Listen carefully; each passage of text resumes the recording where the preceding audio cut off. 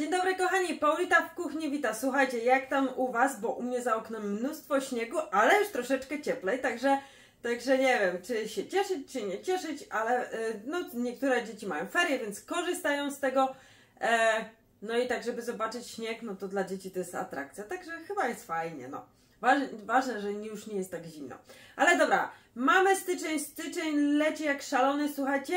Przypominam tylko, że przy zakupie Thermomixa otrzymujecie dwa prezenty, a Wy jako e, posiadacze Thermomixa też możecie otrzymać super szatkownicę i wiem, że Was to bardzo ciekawi, dlatego piszecie. Staram się jak mogę Wam odpowiadać, więc e, piszcie dalej. Zdradzę Wam tajemnicę, jak zdobyć zupełnie bezpłatnie szatkownicę e, dla tych, co już mają Thermomix. Dobra, e, teraz tak, z racji tego właśnie, że pogoda jest jaka jest i musimy dbać o nasze zdrówko, stwierdziłam, że pokażę Wam surówkę, no bo tych surówek jakoś tam dużo nie mam na swoim kanale, a to jest surówka taka, której raczej nie ma na Kukidu, więc postanowiłam zrobić. Próbowałam ją y, gdzieś indziej, ale nie u siebie, więc robię u siebie. Potestujemy, sprawdzimy. Wy może coś podpowiecie, co tam jeszcze dodać, jak to jeszcze ulepszyć. No i tak w ogóle zapraszam Was oczywiście na swojego Facebooka, na Instagrama, zaglądajcie tam, bo oprócz tego, że te filmiki są tu na YouTubie, tam jakoś w miarę staram się codziennie coś tam wstawić, chociaż jakąś fotkę albo jakąś relację. No tutaj aż tak nie jest, także zaglądajcie. No a co do YouTube'a, oczywiście subskrybujcie kanał, piszcie komentarze, no i chwalcie się wszystkim innym, że coś takiego jest. Żeby gotowali i to nie tylko w Thermomixie. Także dobra, dosyć gadania, bo wiem, że nie wszyscy to lubią. Bierzemy się do e, surówki. I surówka to będzie z białej kapusty, powiecie co to takiego, ale to będzie taka jak e, u Chińczyka. Tak, tak znalazłam w internecie, surówka jak u Chińczyka, nieraz właśnie próbowaliśmy, to pasuje do mięsa, do grilla, do, no, do różnych dań. Właśnie u mnie będzie dzisiaj e, sosik wołowy, do tego ziemniaczki i właśnie surówka jak u Chińczyka. I teraz tak naprawdę e, składników jest niewiele, bo tak, z warzyw mamy kapustę, marchewkę, czosnek i cebulę i to jest wszystko. Ale do tego ważna, bardzo ważna jest właśnie zalewa, do której mieszczą się cztery składniki. Czyli tak, cztery y, składniki warzywne i cztery składniki płynne, może nie płynne, do sosu, do zalewy i mamy tak naprawdę surówkę. Zobaczymy jak smakuje. Dobra, zaczniemy od tego, że właśnie zrobimy surówkę, czy, znaczy surówkę, pokroimy warzywa, a potem zrobimy tą zalewę. I teraz tak, znowu stosujemy nasze ustawienia. Waga do do naczynia miksującego wrzucamy cebulę i to będzie między 70 a 80 gramów cebuli. E, ja tu trochę zwiększę sobie porcję standardowo, dlatego że już Wam mówię, tej zalewy wychodzi dosyć dużo, więc fajnie by było e, albo wtedy zmniejszacie porcję zalewy, albo zwiększacie porcję warzyw. Zresztą tak naprawdę przekonamy się dopiero jak to wszystko wyjdzie, bo jeszcze ja tego nie robiłam, więc spróbujemy. Dobra, daję 118 gramów cebuli, do tego dwa ząbki czosnku. To sobie szybko zmiksuję. E, na obrotach 5 sekund obroty 5 i już tak naprawdę szykuję się do kapusty i do marchewki. Jak już to jest zmiksowane, no to przepięknie wygląda nasza zmiksowana kap ta kapusta, widzicie? Cebula i czosnek, coś ostatnio mi już wyprzedzam. E, słowa wyprzedzają, nie, myśli wyprzedzają słowa i słowa myśli i w ogóle to wychodzi z tego różnie. Dobra, lecimy dalej. Teraz tak, marchewka. E, znowu dajemy na wagę. Marchewki dajemy tak 120 gramów pokrojonej na takie większe kawałki. Możecie skorzystać tutaj z przepisu na kolesław, jeżeli nie wiecie jak ustawić. Ja oczywiście daję więcej marchewki, no bo dałam już więcej cebuli. Dobra, Teraz tak, do tego dajemy białą kapustę. I mi się tu udało trafić taką gołąbkową. O, widzicie? Pies mój oszalał na punkcie marchewki. To jest niesamowite, bo jak tylko pojawia się w kuchni marchewka, to pies dostaje szał. Dobra, wrzucam tu około 500, nawet trochę więcej kapusty.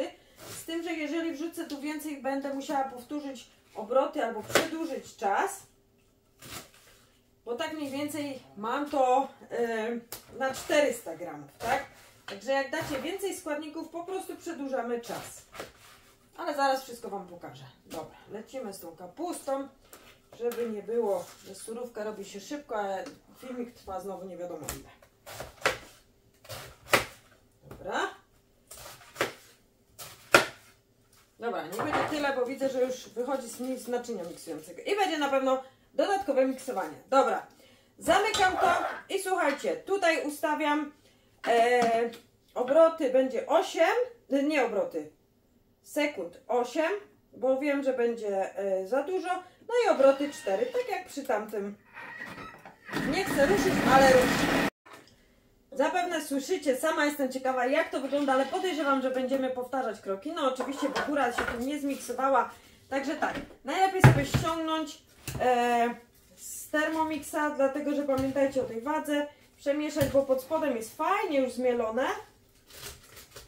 Ale tu rzuciłam troszkę za dużo. Albo robicie to na dwa, dwie raty, albo po prostu powtarzamy krok. I znowu damy 8 sekund, obroty 4. Mam nadzieję, że to już będzie dobrze. O, widzicie? Już będzie dobrze i robimy już sos. Musiałam pomóc sobie trochę kopystką, bo jednak te liście nie chciały wpaść na dół, ale zobaczcie, już mamy gotową surówkę. Także tak, przy takiej większej ilości, no na pewno albo róbcie to na połowę, albo po prostu musicie przedłużyć czas i mieszać tą kopystką. No i teraz co?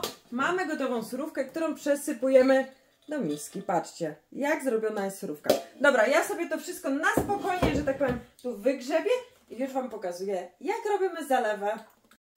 No i dobra, słuchajcie, warzywa czekają na swoją kolej, teraz robimy e, tą zalewę. I teraz tak, potrzebujemy, ja tu nawet nie zdążyłam sprzątać, bo ja chcę, żeby ta zalewa się już grzała, bo to musimy zagrzać, e, a w międzyczasie zaraz sobie posprzątam. Czyli tak, oleju, 125 ml oleju. Ewentualnie jak nie chcecie mierzyć, no to pół szklanki, no ale z drugiej strony, po co brudzić szklankę, tak? Bo szklanka ma 250, no dobra, u mnie jest 130. Teraz tak, ocet. Najlepszy byłby ocet ryżowy, bo Chińczyki e, w tych daniach chińskich używany jest ocet ryżowy, ale z racji tego, że ja nie posiadam w domu, no użyję ocet jabłkowy, bo z drugiej strony ten ocet taki, taki normalny e, jest chyba troszkę za ostry. I tutaj daję 60 ml octu jabłkowego. Jeśli macie ryżowy, to jak najbardziej możecie to zastąpić właśnie tym octem ryżowym. Do tego tak, jedna łyżeczka soli. No bo sól też musi być. I cukier. Słuchajcie, i to są wszystkie nasze składniki, tak? Czyli, aha, czyli dodałam jeszcze sól, o której nie wspominałam. Waga, waga, waga.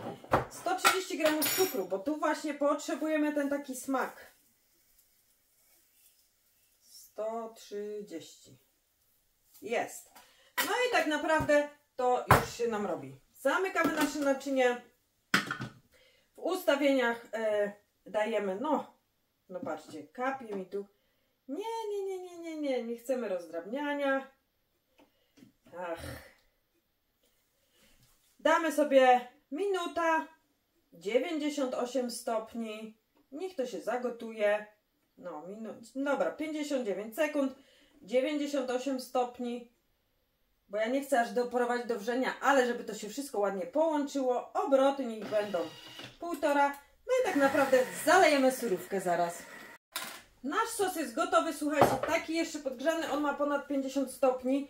Zalewamy naszą surówkę, dobrze trzeba wymieszać i odstawić na chwilę do schłodzenia. Także taki patent wymieszamy i potem już będziemy próbować. No i już! I będzie e, chyba pysznie, pachnie naprawdę super. Także do zobaczenia, jak się schodzi, schłodzi nasza surówka. Kochani, tak wygląda mój obiad z surówką, ale już oczywiście surówkę przetestowałam, spróbowałam i powiem Wam tylko tyle, że trzeba dodać troszeczkę więcej soli. Ale ona się przegryzła, jest zimniutka i jest dalej chrupiąca. Także ja z całego serca polecam Wam surówkę jak to mówią, jak u Chińczyka. Także co, do zobaczenia w następnym odcinku i pamiętajcie, komentarze, udostępnienia zaglądajcie na Facebooka i Instagrama. Buziaczki, pa pa!